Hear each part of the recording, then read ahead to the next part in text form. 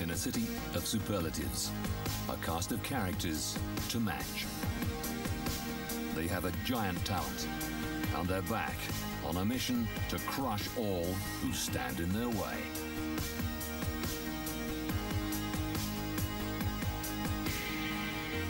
The US Open from New York City, live and in full, from August the 27th on Eurosport and Eurosport 2.